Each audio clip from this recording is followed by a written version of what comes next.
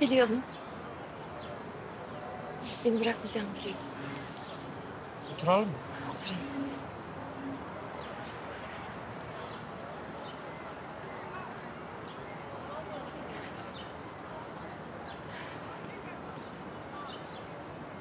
Kaan bak.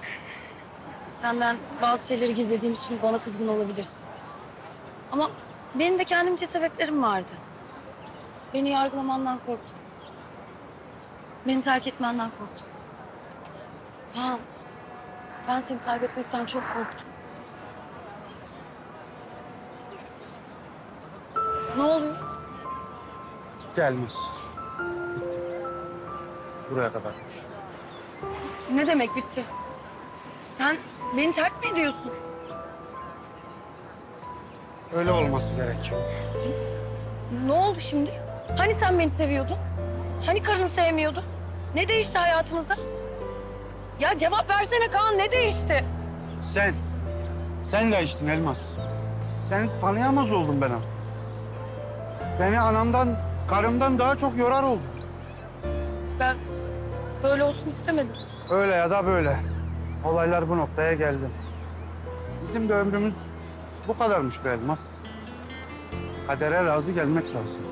Bu kadar değil Kaan. Sen böyle istediğin için böyle oluyor.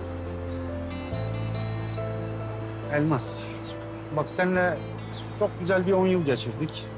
Bırak da öyle güzel hatırlayayım olur mu? Daha fazla üsteleme. Geçmişimi senden sakladığım için böyle yapıyorsun değil mi? Benim derdim geçmişle değil. Benim derdim gelecek. Ben seninle değil, artık karım ve çocuklarımla bir gelecek istiyorum. Oteli de elinden almayacağım. Onca yılın hatırı var. Bundan önce nasılsa bundan sonra da aynı olacak. İşinin başında olacaksın. Ben otel falan istemiyorum.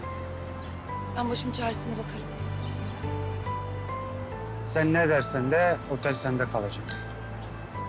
Bu saatten sonra kimseye muhtaç olmanı, geçmişte yaşadığın şeyleri tekrar yaşamanı istemiyorum. O yüzden